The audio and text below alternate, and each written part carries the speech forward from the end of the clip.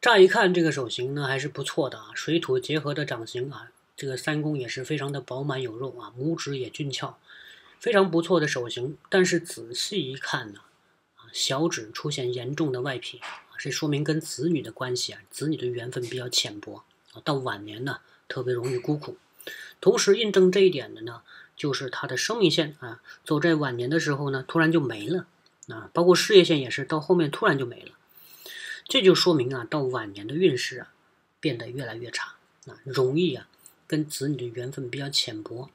常常有可能是生病的时候子女都不在身边啊。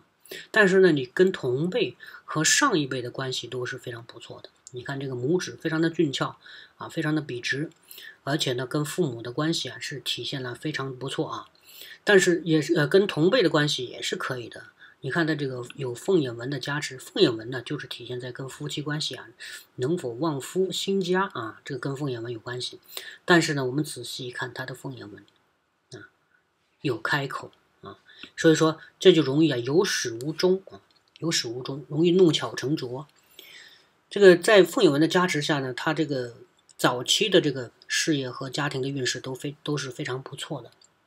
但是有开口，我们说有始无终，到后面就慢慢的出现一些这个不太好的情况啊，甚至呢有可能是啊大起大落。